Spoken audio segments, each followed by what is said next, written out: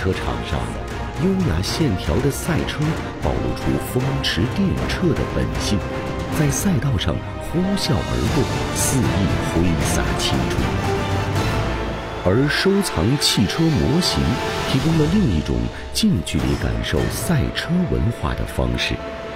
天津的杨先生就是一位资深的车模收藏家。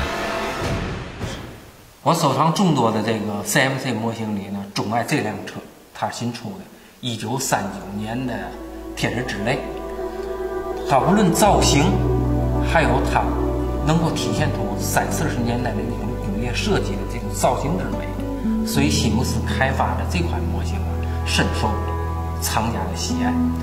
呃，西姆斯的模型呢，它不光是一个工业产，更重要的，它是一件艺术品。它呢，将汽车模型的工艺制造，就是德国的先进工艺，与中国传统的手工艺相结合，制造出了这种完美的这种汽车模型精品。世界上第一个汽车模型还要追溯到上世纪初的1914年。当时呢，为了提升福特 T 型车的销售量，福特为了这辆车，每一个购买者都准备了一台等比例缩小的汽车模型。没成想，这样的一个小小的车模，不仅带动了汽车的销售，还深受欢迎。于是，其他品牌纷纷效仿，陆续推出了自己的汽车模型。汽车模型也逐渐被赋予了更多的含义，更形成了独立的一个行业，发展出专门制造车模的厂家。那么，西姆斯是一家怎样的车模生产商，竟能够让资深车模收藏家杨先生如此的推崇呢？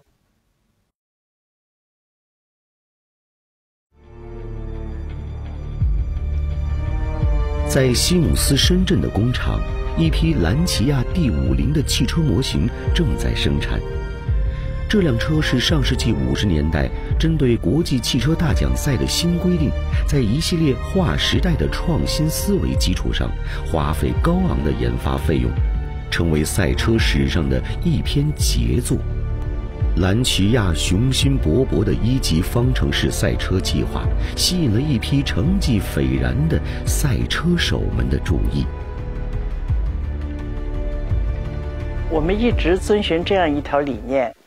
以最好的真材实料，以精湛的加工工艺和精益求精的精神，争取生产世界上最美的车型系列、最出色的赛车系列和最有名的车型系列。呃，每一个产品要求是工艺品，通过它们弘扬汽车历史文化。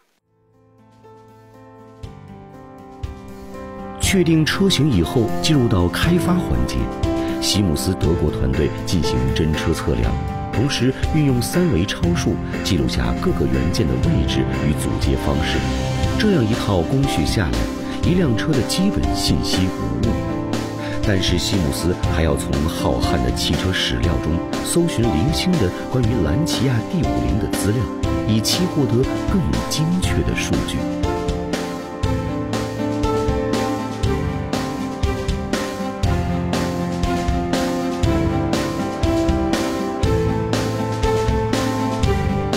典老爷车时代，汽车的制造并不像现在一样有详细的设计图纸，但是西姆斯依旧能够制作出与真车极为相近的车模，这背后是西姆斯团队在车模制作的每一道工序中的精益求精。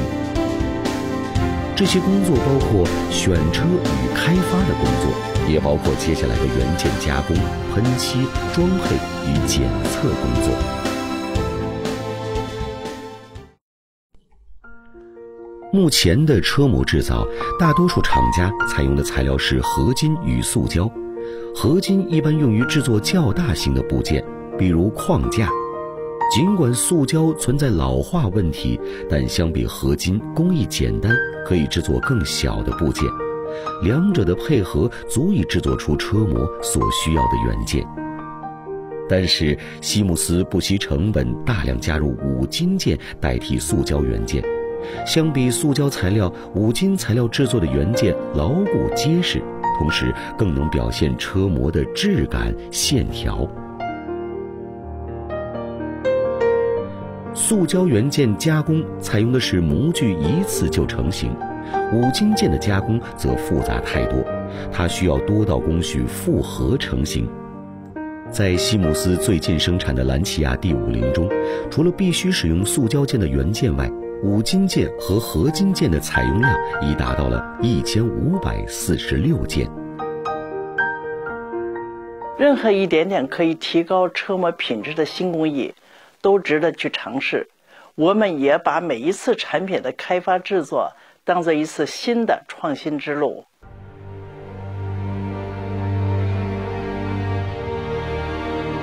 果把汽车模型比作新娘，那车模表面的油漆就是那婚纱。严苛的西姆斯选择了与赛车真车一样的油漆，在装配完毕的车模上，西姆斯对看不到的车身内部也和真车一样采用手工喷漆。他们也不放过芝麻大小、永不生锈的铜钉，自制了模具，用线枪细致喷漆。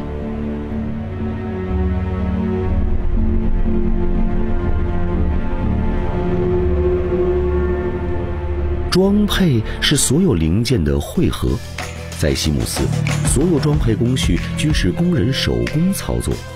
装配车间里，每一个装配工人桌上都摆着十数个装着零件的小盒，那是他们需要完成的装配工序。心灵手巧的工人们把像头发丝一样细的钢丝在不同的部件中穿插。把比米粒小得多的螺钉将不同的部件固定，将极其细致的皮革系好，用镊子小心翼翼地调整仪表盘的位置。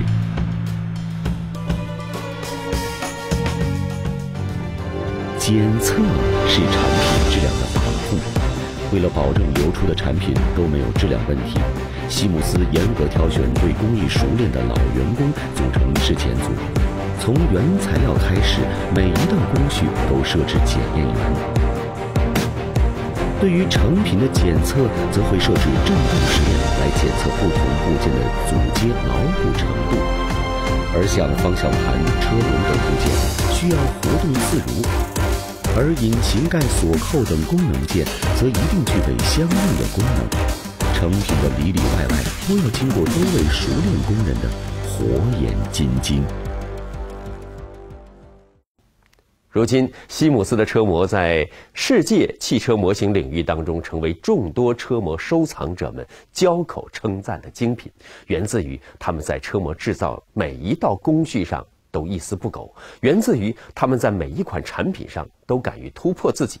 也正因如此，西姆斯可以从三十多年前的车模零售店发展到如今的车模制造的引领者。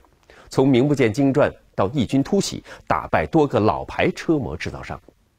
过去西方引领车模行业的发展而如今西姆斯引领世界车模行业的潮流。